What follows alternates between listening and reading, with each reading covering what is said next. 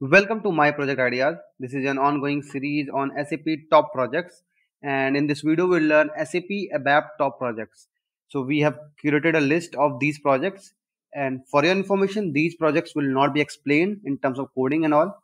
In this particular video, we are just focusing upon the different type of projects that a particular SAP ABAP developer or SAP UI5 developer or even SAP consultant can plan to develop. So these are the projects that you can actually look into on internet and practice them to become a better developer. Anyhow we have also uh, created an article for you where we have mentioned all these particular projects and we have also mentioned all the references where you can go and learn these projects. So let's get started so in our list the very first project is custom workflow development so an ABAP developer can develop custom workflows in SAP to automate business processes, so such as approvals, notifications, and other manual tasks.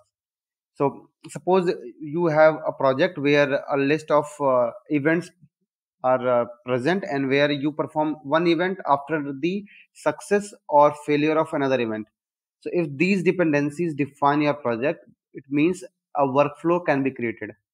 And this workflow can improve efficiency, reduce errors and ensure compliance. So the very common and the next project is custom report development. So businesses can leverage ABAP to develop custom reports that provide insights into their operation. So SE38 is the T code transaction code where you can go and create ABAP reports. And these ABAP reports can help decision makers to monitor business performance, identify areas for improvement, and make informed decisions. So custom report is something that you develop using Z or Y naming conventions. The third project list in our uh, video will be enhancement to standard SAP solutions. So SAP do provide ABAP reports, ABAP tables, ABAP classes, objects, and a lot of functionality. And those standard functionalities sometimes based upon the business require needs improvement upgradation right? And for that sap has created something called enhancements. So ABAP developers can enhance standard sap solutions to add custom functionality that aligns with specific business needs. So this can improve efficiency and productivity while minimizing the need for manual workarounds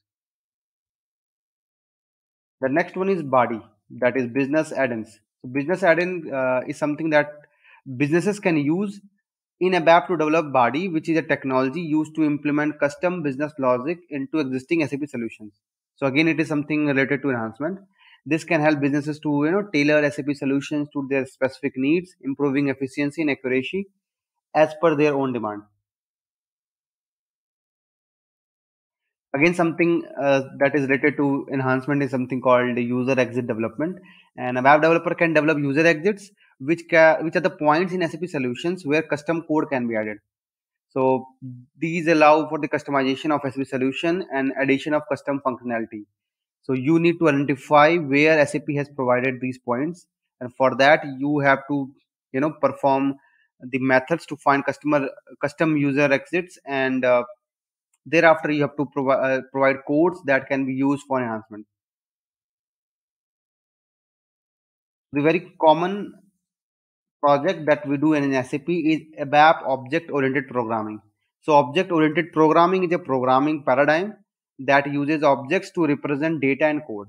So abap developers can use object oriented programming to develop sap solutions that are more flexible maintainable and reusable certainly you need to have the basic idea of OOPs concept before you start uh, you know working on these projects. A very old school way of developing projects in sap is abap web dynpro development. Many of the latest customers have stopped using it but old customers are still using it. So businesses used to leverage abap web dynpro to develop custom user interfaces for sap solutions so this was used to improve the user experience and make SAP solutions more intuitive and easy to use, which is certainly replaced by something called SAP UI5 or Fiori. So the very next uh, will be SAP UI5 or Fiori applications, right? So certainly you need to identify where exactly you need to have these applications, these Fiori applications. And uh, based upon that, SAP provide multiple solutions. So you can write your own code or you can generate the entire uh, backend to front end using simple operations. So something OData, ABAP CDS, ABAP RAP and SAP BOPF are involved where you create automatically generated Fiori applications. And in case these are not helpful, you can create your own SAP UI5 applications. So this is a different segment itself where you create Fiori applications and UI5 applications based on the backend provided by SAP. And certainly while you are developing the front end, you need backend interfaces, right? So backend interfaces like something that you need to communicate between uh, the two systems that can be both SAP or even third party solutions and for that you use something called rfc you use idoc you use uh, rest apis called odata apis then you use uh, cds and bopf so a lot of different ways are there where you can go and learn about these uh, interfaces. So yeah. The last one is migration into sap hana. So sap has something called r by 3 structure and then sap came with sap s4 hana.